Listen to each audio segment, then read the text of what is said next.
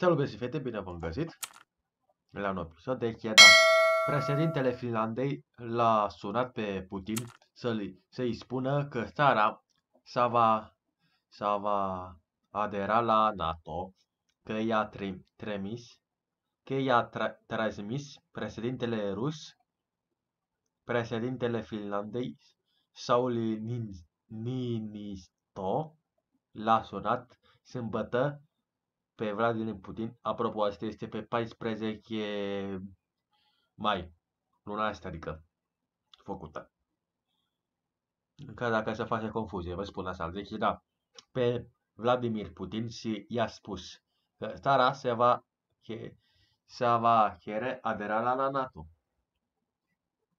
În zilele următoare, potrivit unui comunicat al administrației prezidențiale a lui ăsta de la Helsinki, președintele Ninisto i-a transmis lui Vladimir Putin cât de fundamental au alterat climatul de securitate al Finlandei, cherelile Rusiei de la finale, finele, finele lui 2021 ca țările să nu se alăture NATO și invadarea masivă a Ucrainei, președintele Nisto a anunțat că Finlanda va decide zilele următoare să chiară să devină stat membru NATO, potrivit comunic- comunicatului. Saul Nisto a mai notat că i-a spus președin, președintelui Putin la prima lor întâlnire din, 2020, din 2012 că fiecare națiune independentă îți maximizează securitatea și acest lucru se întâmplă acum, alăturindu-se NATO, alăturându-se NATO, Finlanda își intereste securitatea și își asume responsabilități. De asemenea, în viitor, Finlanda dorește să se ocupe de chestiunile practice care rezultă din a fi vechinul Rusiei într-o manieră corectă și profesionistă. Conversația a fost directă și cinstită și a fost purtată fără agrevări, agravări. Evitarea tensiunilor a fost considerată importantă, a declarat președintele Ninisto. Potrivit comunicatului, comuni, comunicatului, Sauli Nisto s-a arătat profund îngrijorat, îngrijorat de suferințele umane cauzate de războiul pe care Rusia îl poartă în Ucraina.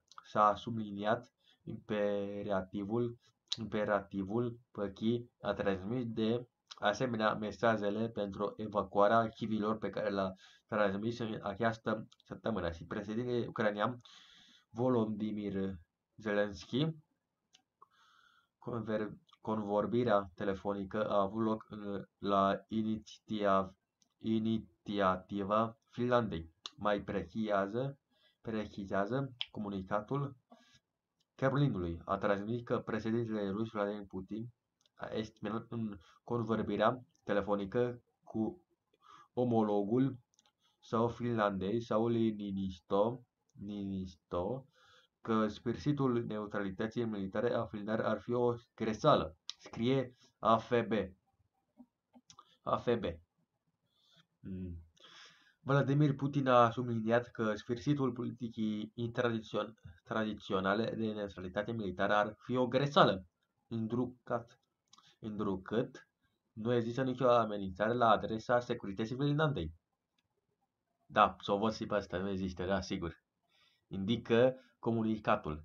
Anunțul candidaturii Helsinki pentru aderarea la NATO pe care Moscova nu îl agrează, agrează este așteptat duminică. O astfel de schimbare a direcției politice a țării poate avea un impact negativ asupra relațiilor ruso-finlandeze, care s-au dezvoltat de ani de zile în spiritul bunei vechinități și al cooperării între parteneri fiind reciproc avantajoase, asigură declarația Kremlinului.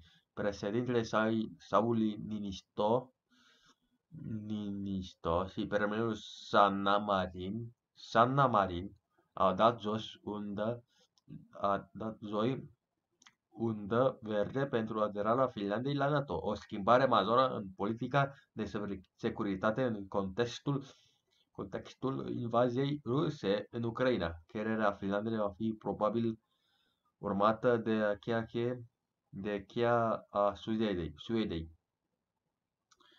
Alăturarea celor două țări la Alianța Nord-Atlantică urmând să se facă în ciuda avertismentelor repetate ale Rusiei. Rusia a asistat vineri noapte exportul de energie electrică pentru Finlanda, a anunțat sâmbătă operatorul rețelei naționale finlandeze.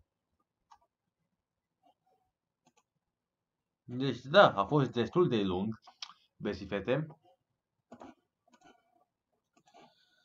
La revedere! and remember, like and subscribe.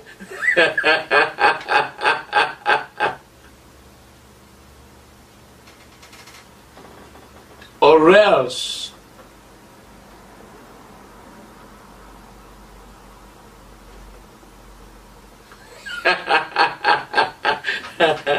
Smash that button now!